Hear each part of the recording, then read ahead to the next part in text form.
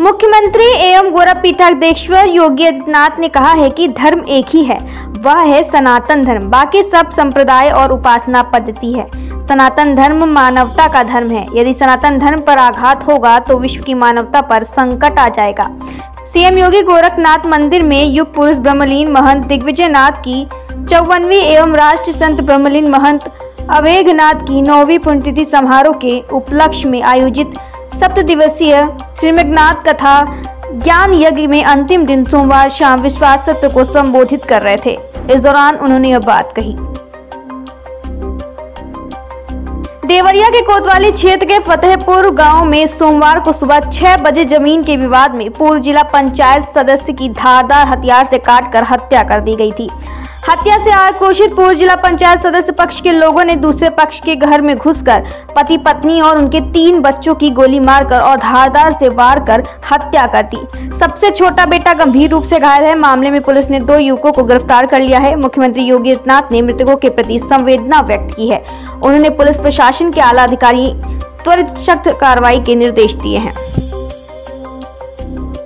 कानपुर में अभी बीजेपी पार्षद पति की गुंडई का मामला ठीक से शांत नहीं हुआ था कि शहर में एक और पार्षद की गुंडई का मामला सामने आया है। दबंग पार्षद ने सिगरेट के पंद्रह रुपए मांगने पर दु, दुकानदार को भारी पड़ गया।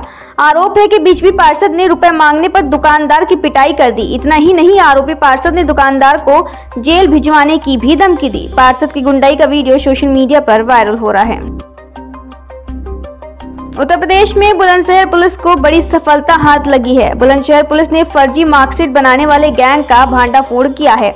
पुलिस ने गिरोह के तीन सदस्यों को गिरफ़्तार किया है। इसके साथ ही देश भर के कई राज्यों की 180 मार्कशीट बरामद की है।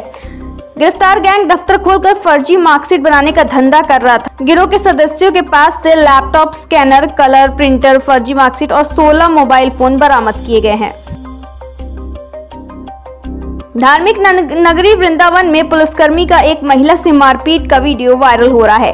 वायरल वीडियो में महिला भी पुलिसकर्मी को चप्पल से पीटती हुई नज़र आ रही है। महिला से मारपीट करने वाला पुलिसकर्मी शहर की ट्रैफ़िक व्यवस्था संभालने की ड्यूटी पर लगा है। मारपीट का ये वीडियो इंटरनेट पर तेज़ी से वायरल हो रहा है। लोग जमकर इसको वायरल कर रहे हैं। महिला का आरोप है की पुलिसकर्मी ने उसके ऑटो के दो पहियों को पंचर कर दिया था।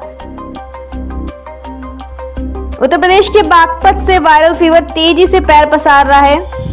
वायरल फीवर से एक ही गाँव के तीन महिलाओं की मौत हो गई है। करीब 30 से ज़्यादा लोग बुखार से पीड़ित हैं। लगातार केस बढ़ने से ग्रामीणों को संक्रमण का डर सता रहा है। ऐसे में ग्रामीणों ने संक्रमण से बचने के लिए स्वास्थ्य विभाग से गाँव में दवा कई छिड़काव कराने और आसपास के सभी गाँव में शिविर लगाकर जाँच करने की मांग की है। उत्तर प्रदेश के संभल में एक गाँव में रहने वाली प्रेमी जोड़े से शव मिलने से पूरे इलाके में सनसनी फैल गई है। घटना की जानकारी मिलते ही ग्रामीणों की भीड़ इकट्ठा हो गई है। शीशम के पेड़ पर लटके लड़की और लड़के के शव को गाँव वालों की मदद से उतारा गया है। लड़का और लड़की एक ही परिवार से थे, जिसमें प्रेम प्रसंग का मामला बताया जा रहा है। घटना की सूचना मिलते ही भारी पुलिस फोर्स मौके पर पहुँची। पुलिस ने दोनों के शव को पोस्टमार्टम के लिए भेजा है। उत्तर प्रदेश के फतेहपुर से मानवता को शमसार करने वाला मामला सामने आया है। यहाँ पे आरोपी पिता ने हैवानियत की सारी हदें पार कर दी। 2018 में लड़की की माँ की मौत हो गई थी, जिसके बाद उसके पिता पिछले पाँच सालों से हर रोज उसके साथ दुष्कर्म कर रहा था। वह अपने घर में ही सुरक्षित नहीं थी। पीड़िता बेटी ने स्थानीय थाने में पिता के खिलाफ शिकायत दर्ज कराई। पुलिस ने पीड़िता की शिकायत के आधार पर आरोपी पिता को गिरफ़्तार कर लिया है। उत्तर प्रदेश के देवरिया में महिला का शव मिलने से पूरे इलाके में सनसनी फैल गई है। घटना की जानकारी ग्राम प्रधान ने पुलिस को दी। सूचना पर पुलिस घटना स्थल पहुँची, जहाँ एक महिला का शव खेत के में तीन टुकड़ों में पड़ा हुआ था। कमर से ऊपर का हिस्सा गद्दे में लपटा हुआ था। वहीं कमर से नीचे दोनों पैरों को हत्यारे ने अलग अलग काट कर दो ट्राली बैग में भरकर सड़क के किनारे धान की खेत में फेंक दिया था। मामला देवरिया के बलुअनी थाना क्षेत्र के मुंडेरा गाँव का है। कानपुर में उधार समोसे मांगना ग्राहक के लिए जानलेवा साबित हो गया। ग्राहक द्वारा दस रुपए के समोसा उधार मांगने से दुकानदार भड़क गया। उसने कढ़ाई में खोलता हुआ तेल ग्राहक पर डाल दिया। हादसे में ग्राहक की पीठ बुरी तरह झुलस गई है।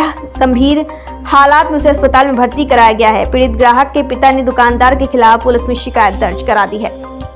बने रहे हमारे साथ, देखते रहे पब्लिक न्यूज़ टीवी।